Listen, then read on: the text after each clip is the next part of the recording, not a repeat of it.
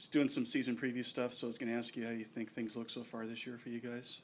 Well, I think things look uh, really good. I mean, everybody's going in the right direction here, and we've been working extremely hard day in and day out. So I think uh, things are looking positive, and we're all excited to get the season going. How much motivation is there just to get like you know last year out of your mouth, so to speak, and you know just you know show people what this program can really be? I mean, how fired up would you say you guys are about that?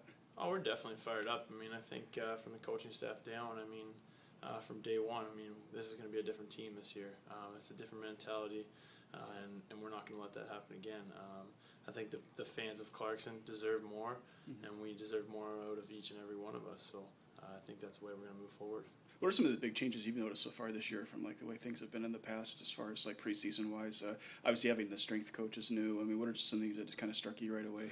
Well, having having Max here uh, every day has been has been huge for us in our development. I think uh, just having some guidelines in the gym and it, you know it really takes us from point A to point B a lot easier rather than leaving guys on their own Oh, yeah. um, with no guidance. But uh, the biggest thing for me also has been uh, the amount of guys. I mean, we, we have a lot more guys, so there's a lot more competitive nature out there. It's not uh, Yeah. it's not going to be easy to be in the lineup this year, and I think everybody's got that message. So in turn, it creates more more higher uh, standards. So.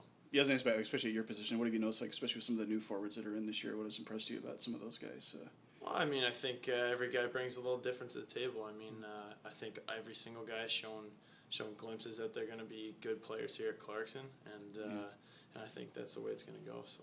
one thing I wanted to ask each of the guys I talked to was I was just kind of curious what reactions were when you saw like the preseason polls from the coaches and the media. Uh, you know, what did you guys think of that? Uh, Well, we're not happy. I mean, Yeah. uh, you know, they can uh, put us wherever they want, but in the end of the day, it's what we believe in, Yeah. and we believe in each other. And uh, you know, we're we're looking to be a top team in this league this year, and no one in that room believes otherwise. So. well, thanks.